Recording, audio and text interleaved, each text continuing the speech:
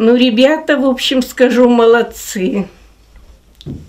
Все сделали, все, я не могу говорить. Я мало, конечно, знала о своем отце. Ну, знала только то, что он на финском фронте служил, что у него награда была. То, что мама мне сказала, когда он уходил на фронт, он 2 ноября 41 года уходил на фронт. Он меня взял на руки, и я первый раз сказала папа, а 3 ноября мне год исполнился. Мне даже года не было, когда он ушел на фронт.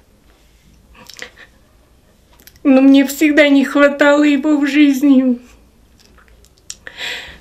Ну и я обратилась в молодежный центр, чтобы пойти на парад с фотографией.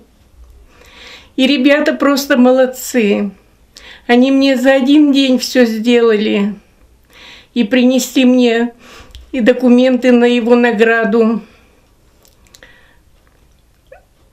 Ну, в общем, я даже узнала, где он воевал что он воевал в Карелии, что награждал его медалью за отвагу Карельский военный округ.